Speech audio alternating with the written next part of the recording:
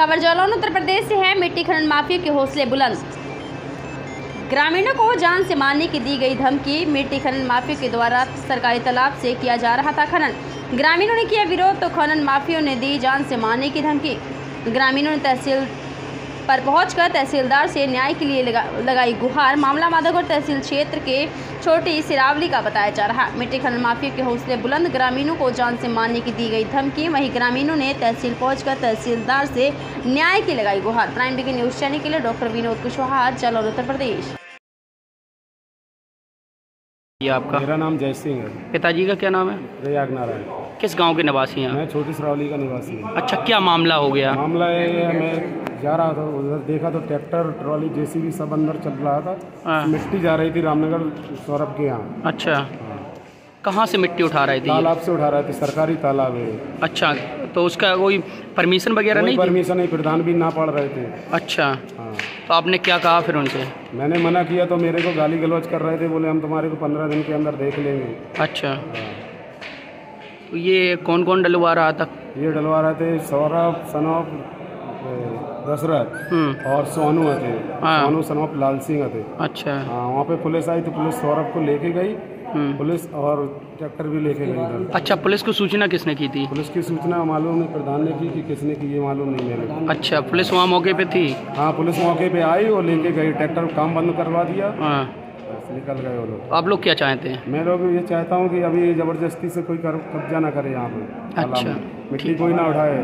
ठीक मैं आपका पिताजी का क्या नाम है? नसीर खान। किस गाँव के निवासी हैं? ग्राम छोटी सरावली।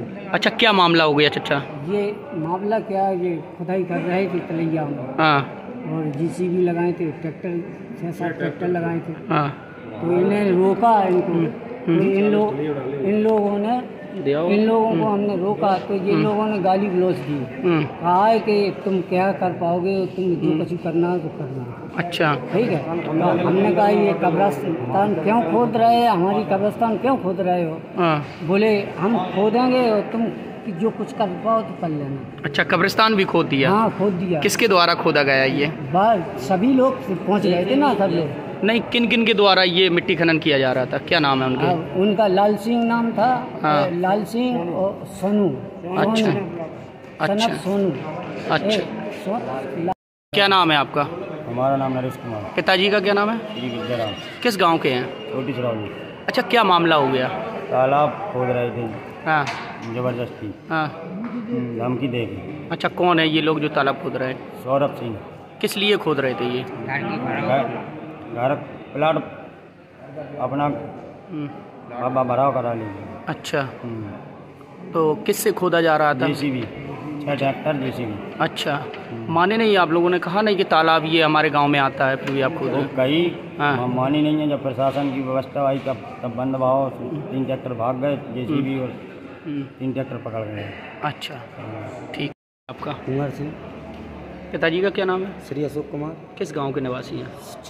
छोटी सरावली के। अच्छा क्या मामला हो गया? ये हो गया कि ग्राम सभा की एक तालाब था। हम्म, उसमें गुड्डू ज़बरदस्ती करके मिट्टी डलवा रहे थे जीबीसी लगा के हम्म, छः सात ट्रैक्टर रखे अच्छा।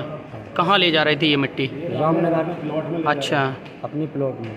अच्छा तो आपने क्या कहा? हमने उनसे बोला हमने ऐसे ले नहीं जा सकते हो आप। हाँ। तो उनने बोला कि हम तुम्हारे इतना बड़ा डलवा लेंगे हम ये कर दूँगा वो कर दूँगा गाली गलौज करी और बोले पंद्रह दिन बाद हम तुम्हारे तालाब में मिट्टी फिर उठाएँगे। अच्छा।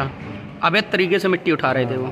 अच्छा तो आप लोग कितने लोग हैं जो एप्लीकेशन देने हमारे साथ में दस लोग दस लोग अच्छा।